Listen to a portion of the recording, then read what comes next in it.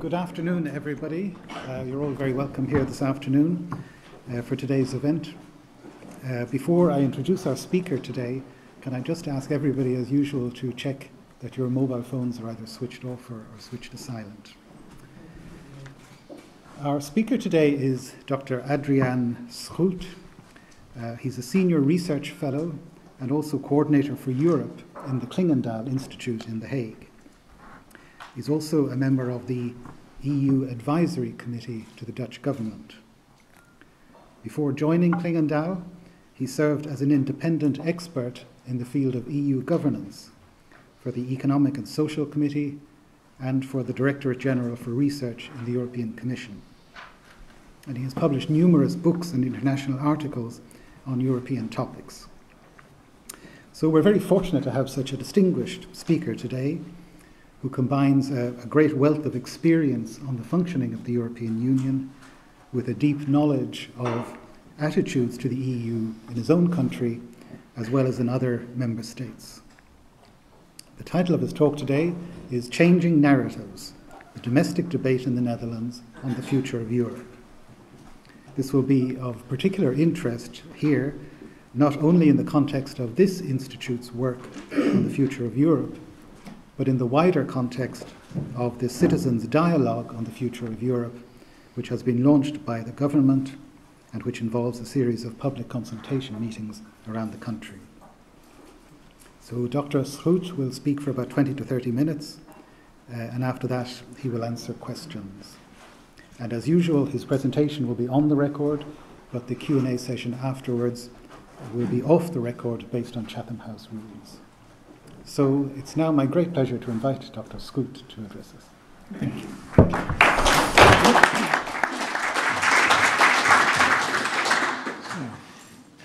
Well, thank you, uh, everybody, uh, especially the uh, Institute for getting me over.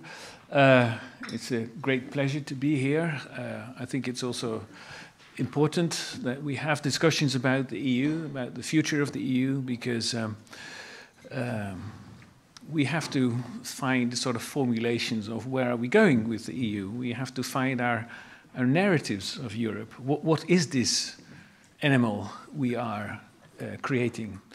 And that is something we have to do by exchanging our discussions as we have in the Netherlands and you have in, uh, in, in, in, Ireland, and uh, particularly in our capitals, because um, our histories are different and our problems are different. So we have different views on Europe, but we still have to come up with something about a common view on the EU. And that's why I used the title narrative. Uh, it's a bit of a esoteric term maybe, but we need to have a story. What is it that we are creating? What is it that we're working on? And we have to find a, agreements over that. And EU narrative in the Netherlands is rather different from the EU narrative in Germany or in France. So we have to talk about it, and we have to come up with common lines and and uh, and ideas. um, I will uh, talk about the situation in the Netherlands, and i will probably say things like "we," uh, but of course there is no. I'm not the spokesperson for the Netherlands, so uh, when I talk about the Netherlands or we, then you know you have to take that as a sort of in the discussion. I use that, and I know very well that Mark Rutte, our prime minister, will say one thing, but uh, the, the, new minister of finance will have a, a, harder line than Rutte. So you know, it really depends on the individuals. But we'll have to make a bit of a, a sort of impression of the Netherlands, and I'll try to do my best. Um, I've been looking at the Netherlands for a long time. I've been writing books about it, and I don't know what else. Uh, so I, I hope I have a bit of an insight into it, but it's not perfect. Uh, I'll probably make uh, four points. One is I really want to talk, say a few things about the context in which we're having this debate about the future of Europe. The, my second point will be about the EU as an institutional system that is drifting. My third point will be about the Netherlands how we look at the EU. And finally, uh, my fourth point is something that I am thinking about myself, and this is something I want to also see how we can discuss that is uh, how can we discuss a more mature form of European integration than we are having now?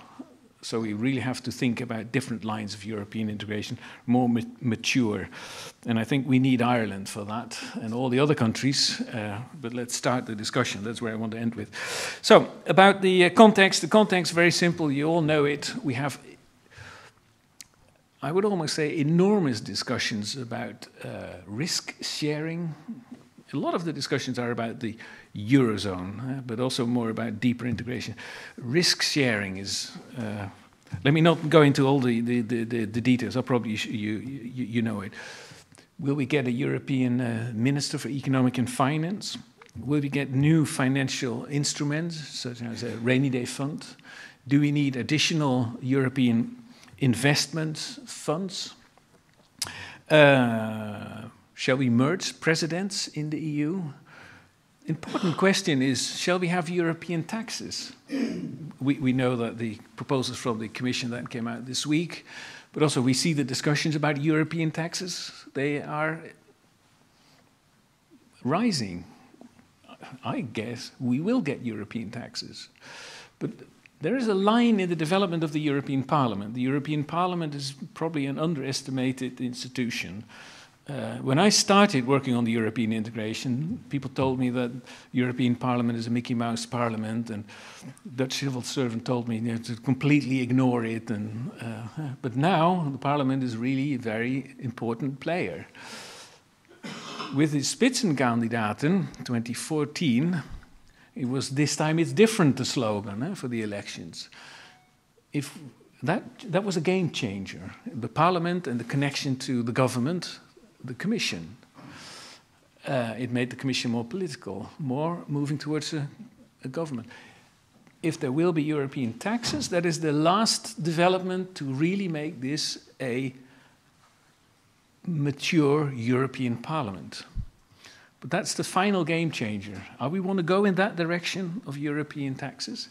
So there's quite a number of very, very big questions that we have on the table now, and they have enormous consequences for the functioning of the institutions, the Commission as a political body, the European Parliament as more powerful, uh, the role of the member states, and the interinstitutional balance. So we have the context is one of really serious and important questions.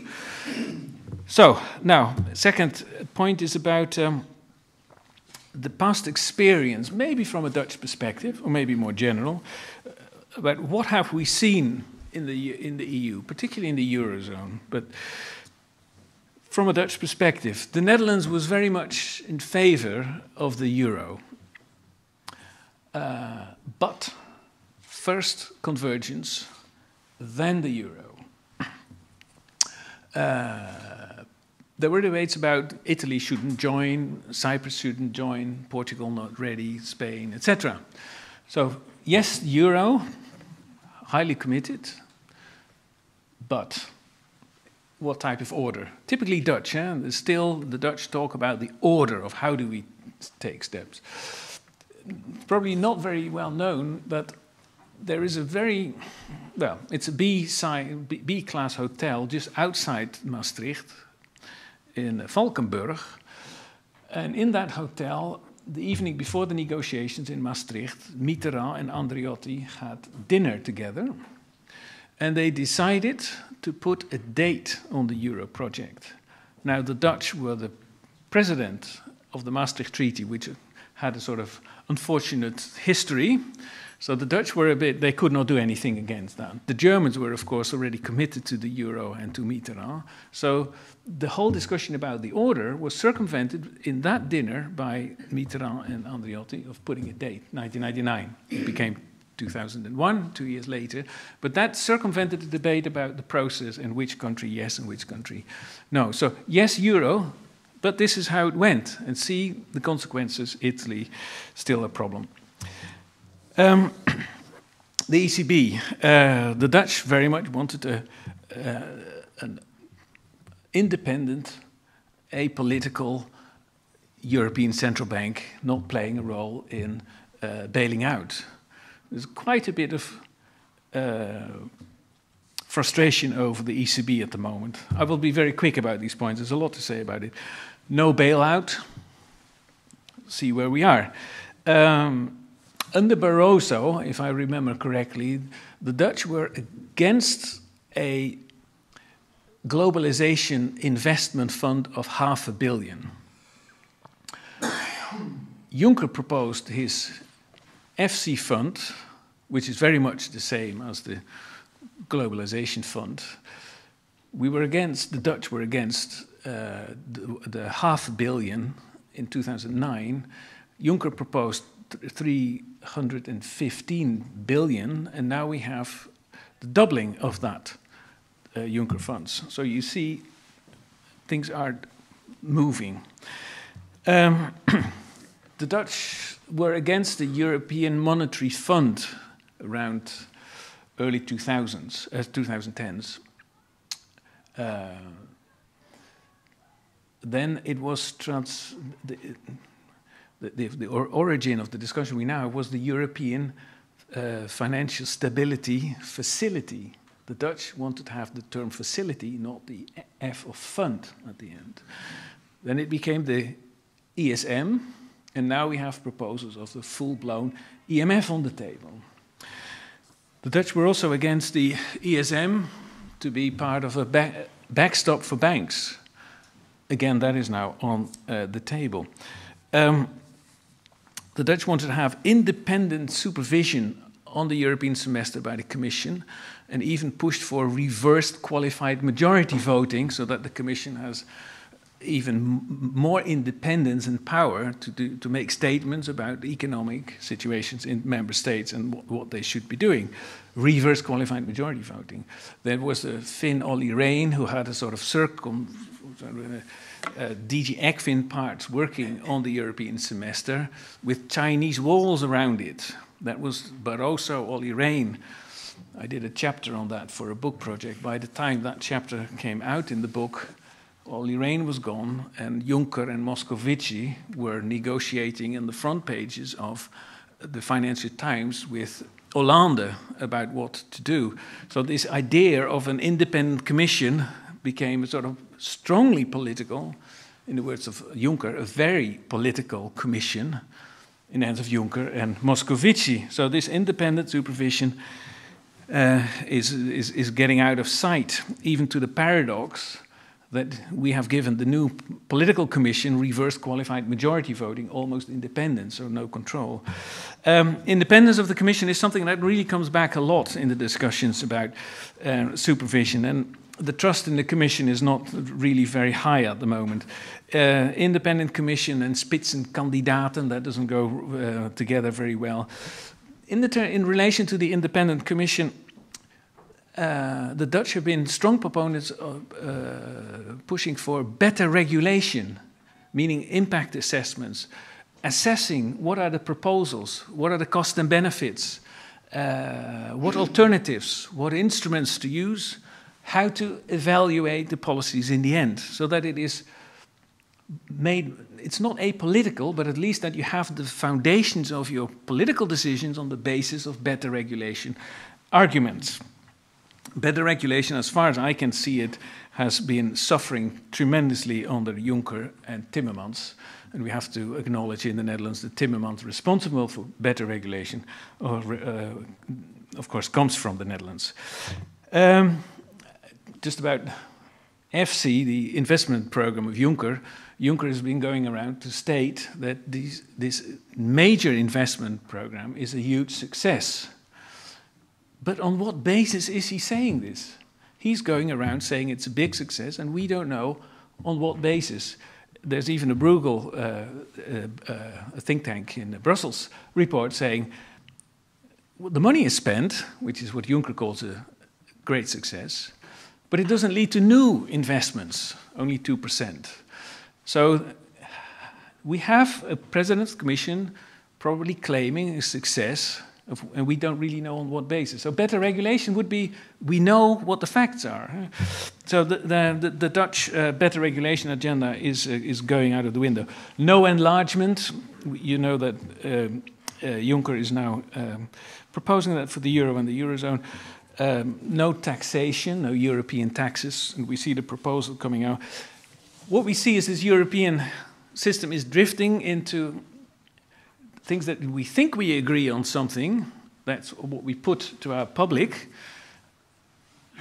and we vote for in parliament, and then it moves in different kinds of directions. That is something that is, is a worrying sign. This is the sort of pragmatism and compromise making in the EU that has a slightly frustrating angle in the Dutch debate about what is it that we are actually agreeing on if in a couple of years from now it is different than we're discussing at this stage. So that's the, the, my second point was about the, the drift of European uh, integration, the trend that we see. And the trend is also one of, in a way, a more mature European integration system, with the Commission developing into a political body uh, with an elected president and more powers to the European Parliament. Now, um, the um, narrative in, uh, in the Netherlands. First, let me say a few things about the, the narrative where we are now with European integration. It seems to be that the current trend is one of uh, haste. Uh, we have to uh, fix the roof uh, when the sun is shining. Um, the, apparently, there's a new crisis looming, so we have to uh, move fast. Um, uh, we have to use windows of opportunity at the moment. Uh, so this is the sort of haste narrative. Uh, and we see Juncker has been, the Commission has been very active with producing proposals and, and telling us also the EU has to deliver and we have to deliver now. So we have to be ambitious, and we have to be ambitious now. So this, the EU narrative is probably one of haste uh, and political pressures. The political pressures come from, of course, Juncker, but also come very much from Macron and uh, uh, somebody like uh, Martin Schulz. He just left the political stage, but he had a big influence of the past year and the developments in Germany. Um, so it's all about haste and political pressures. And there's also something in this current development of the EU of um, uh, it has to be a package. We have to have a big win-win package for everybody.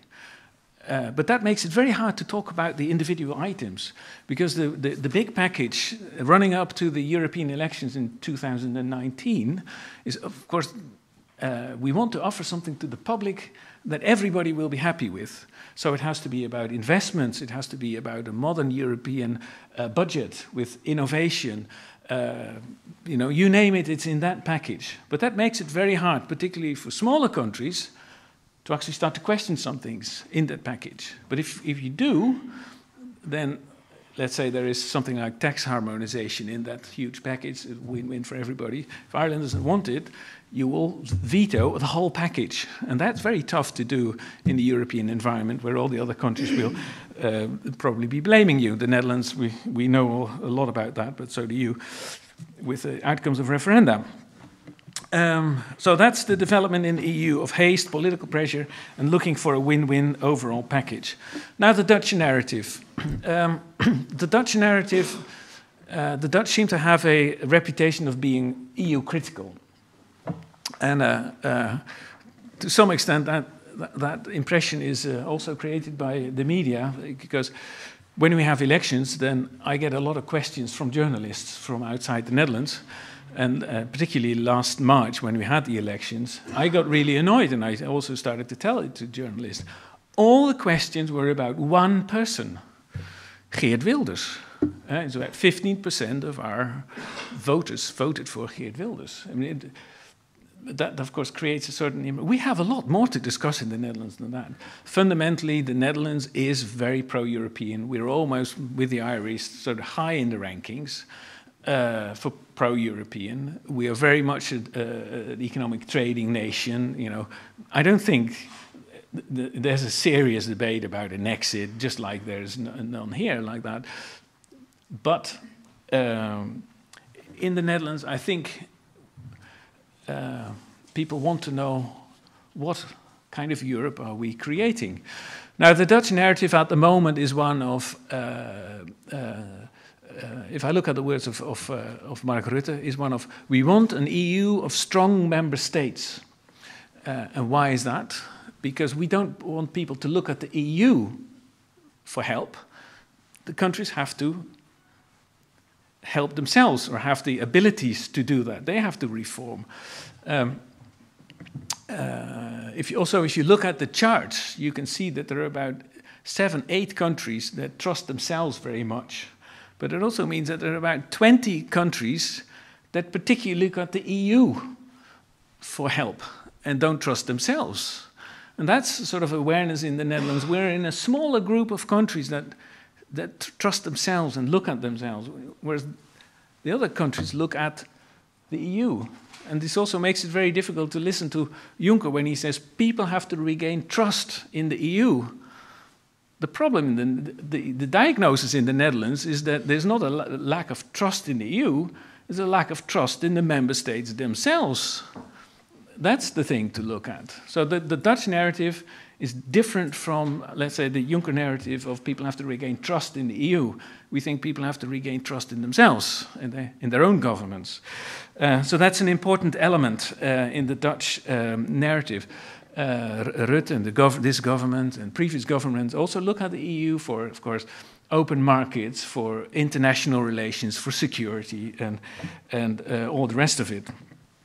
But the, the, this idea of a Europe of strong member states is really key in the Dutch uh, debate. And uh, when you look at the reforms that, that you did uh, during the crisis, which were phenomenal, the Dutch also did major reforms, and we didn't even have so much external pressure. We did it, you know, by ourselves more or less. Somebody in the European Commission called the Dutch the masochists of Europe. Uh, you know, whenever we see a crisis, we want to reform ourselves, you know, voluntary. Uh, so that's the sort of that's what we expect from uh, the, the, the, Europe, the Europe that is um, uh, built on member states. The Netherlands is also highly pragmatic. And that becomes rather problematic because we want to sit at any table, all the tables. We, we have no opt outs, as far as I, I know. I'm looking at an expert on the Netherlands. I, I don't think that we have opt out. We want to sit on, any, on all the tables. We had an opt out this year on EPPO, which is the European Public Prosecutor's Office, uh, where the Dutch government said, well, we don't have to take part in everything. EU commissioners were telling me, uh, commission officials were telling me, you will join in three months. And they were right, now we are. We have agreed that we will join. So we are very pragmatic. We also, we also very much, uh, of, of uh, you know, we are a polder society. We, we negotiate, and we do that at the European level. So we, I think we're all, we, we're, we, we will, there will not be strong, in the end, not be strong opposition from the Netherlands. Uh, it, so we are also pragmatic. That's uh, the point I want to make. Uh, yet, now, and I think that has to do with Macron and Schulz, uh, we are back uh, to something that I did not expect. Uh, there's a new narrative now in the, in the Netherlands, and that is a, a, a tougher European narrative. That is one of no transfer union, but also uh, member states should not expect uh, support from the EU. Uh, so the, the if then, if you reform, then you will get something from the EU. That is now, Rutte said, we don't want that kind of Europe anymore. You know, if countries want to reform, they have to do it because they want it themselves, not because they get uh, support from the EU. So we get a tougher line. I did not expect this because the Dutch government um, learned an important lesson from the third rescue package to Greece, where Rutte told in his election campaign in 2012, there will be no more money going to Greece. That was probably the uh, election slogan of, of Rutte no more money to Greece. But in 2015, there was the third rescue package. So he had to apologize in parliament. And that was the lesson the government learned don't make big statements because you have to go back to parliament and apologize.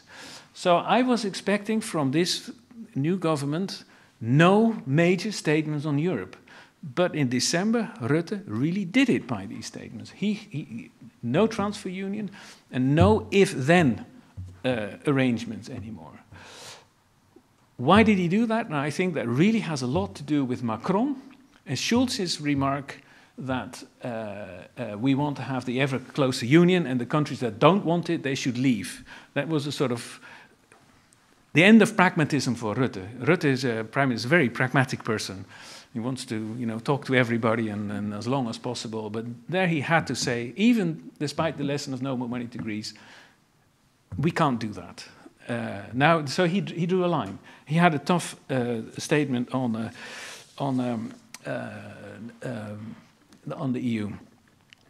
Um, a lot to say about it. Just to, to finalize, a couple of, of, of further uh, remarks. So there's a vision now. Rutte has been avoiding visions, wanted, wanted to be pragmatic.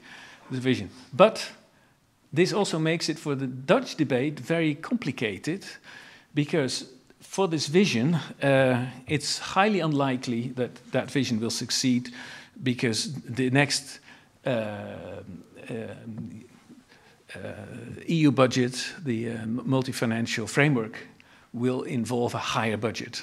So, even there, we will see more of a transfer union. Uh, but also other measures being taken. We will probably get a European monetary fund of some sort. There will be a lot of steps going in directions that actually do not fit with the vision that is now outspoken, uh, spoken out loud in the Netherlands. Uh, so, what will happen for this government if there are things that do not fit with the messages being given? That's going to be a tough one for this government.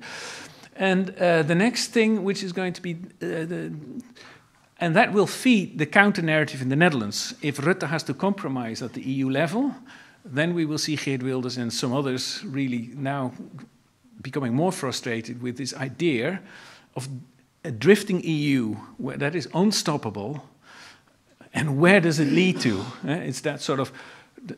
This is now the, the dangerous situation in the Netherlands that this drifting EU is becoming, is getting the image of being unstoppable and becoming more political, etc. Um, but uh, this government also needs supporters. Now, the UK is gone. Uh, what other countries does the Netherlands have?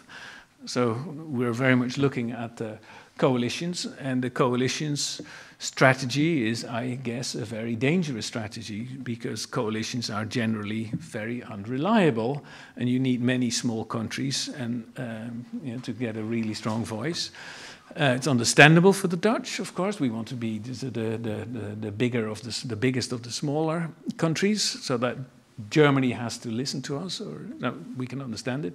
But it's very hard to get coalitions because, as far as I know, Ireland wouldn't be against a higher EU budget, which is very sensitive, of course. Uh, we would like to, to kill agricultural subsidies. I think that would be a different debate here. Uh, um, so with, with uh, I mean, uh, Austria uh, seems very much on the Dutch line in many ways, but in Austria, I think, as far as I understand, they would not be against European taxes. Uh, so very hard to have actually coalitions and to rely on it. I want to um, uh, end with, uh, with, with um, uh, where I think this discussion stands now and should be going. Um, and this is something where um, um, I also want to hear where, where Ireland stand. Because the way I read the Dutch situation is that the Dutch are very much pro European, and I think uh, we can easily sell in the Netherlands a transfer union. It's like paying taxes. Uh, as long as you know what you're paying taxes for, you know, people are generally willing to pay the taxes. Uh, and I think that is the same in the Netherlands. But what kind of Europe are we building? See, that is the, the basic question. Uh, is this a, a, political EU that is sort of becoming a, sort of monster that um, um, uh, suffers from checks and balances? Um, if we look at the European, um, sort of the, the, the, the, center of Brussels, I think it's, it's about a, a kilometer by a kilometer, and you have there 30,000 uh, officials from the European Council, the Commission, the European Parliament. There's an office of the ECB, there's, a, I think, an office of the EEB. So, what is this? Do we have a system of checks and balances? Is this a mature political system, or is this yeah, what, what is it? Um, I was speaking to people in the, in the European Parliament about uh, plans in the Commission, and I had the idea that they were really working very close together with Parliament and Commission on proposals that were being de developed. Is this a system of checks and balances? If we don't have better regulation with good preparation uh, uh and, and assessments at the end that if this is, if all of this becomes political in a sort of environment, Brussels, that becomes in this way intransparent, uh, I am not pleading for a more democratic Europe because I don't think this is the issue that we're talking about at the moment. The Commission is it's there. It's a it's a it's a fact of life, uh, and it's it's necessary. But uh, from good systems of um, from good political administrative systems, we may expect that you have different phases. It's the policy preparation phase.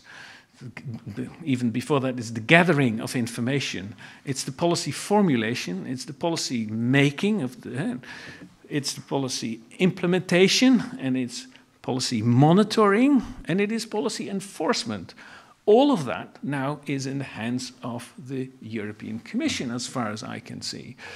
We need to have I think we need for, to look for inspiration to the Nordic countries, where you have small ministries and separation of different tasks in the policy process.